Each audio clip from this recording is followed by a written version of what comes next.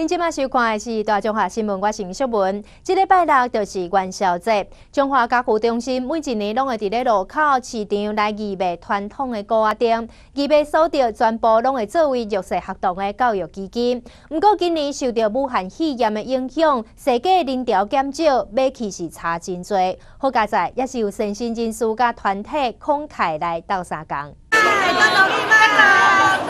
看到高阿丁伫卖场花杯，当然也去未少世界民众注意。谢谢，谢谢。中华家福中心人员表示，往年义卖高阿丁活动拢是为过年后开始，只是今年受到武汉肺炎的影响，会期有明显减少。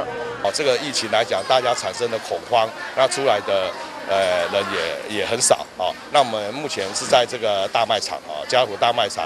那大家呃现在也很谣传说，哎。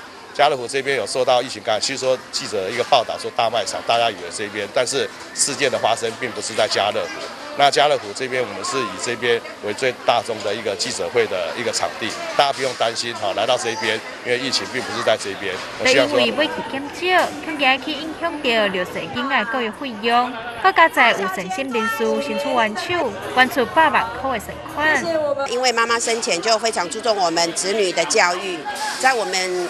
那个年代，因为家庭环境不是很好的时候，妈妈就一直要求我们要那个半工半读，自己自己要完成自己的学业。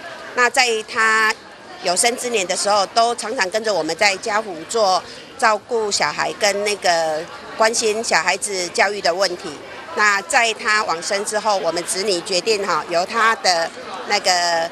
抽买钱来带哈，捞一寡钱出来照顾家父的小孩子，让家中华家父中心表示，到元宵节进前，中华县内有真侪所在都有咧义卖糕仔丁，希望民众发挥爱心，开几十块啊，帮助家户的艰苦囡仔。中华新闻张世亮，中华采访报道。